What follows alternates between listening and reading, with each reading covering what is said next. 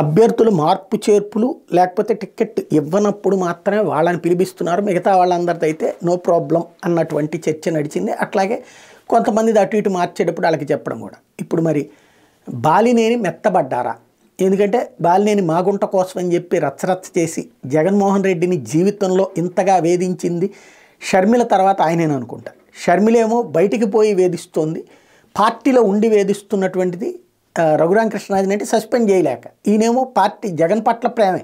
తెలుగుదేశం పట్ల ఏం ప్రేమ ఉండదు. కానీ జగన్ని ఈయన సతాయించినంతగా ఇంట్లో వాళ్ళ కుటుంబ సభ్యులు కూడా అంతగా సతాయించి ఉండరు. అంతగా సతాయించారు. ఇప్పుడు వచ్చేటికి బాలినేని చెవిరెడ్డి భాస్కర్ రెడ్డి ఎలాగైతే పట్టుకెళ్ళి జగన్మోహన్ రెడ్డి ముందు కూర్చోబెట్టారు బాలినేని తన కొడుకుతో కలిసి వెళ్ళారు. ఇప్పుడు అక్కడ బాలినేని కోరుకుంటున్నటువంటిది టైపులో ఆయనకి ఎంపీ వాళ్ళ అబ్బాయికి ఎమ్మెల్యే ఇస్తారా?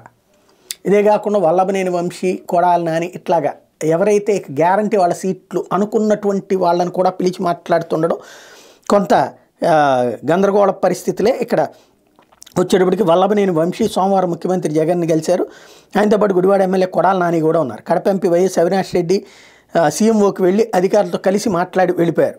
ఇట్లాగా ఈ పరిస్థితుల రీత్యా చూస్తే ఏంటి రాబోయే మార్పులు? అంటే ఇప్పటిదాకా ఇతర నాయకులు. ఇప్పుడు సీఎంకి అత్యంత సన్నిహితంగా ఉండే వాళ్ళకి సంబంధించినటువంటి మార్పు చేర్పులు ఉంటాయా? ఏం జరుగుతుందనేది చూడాలి.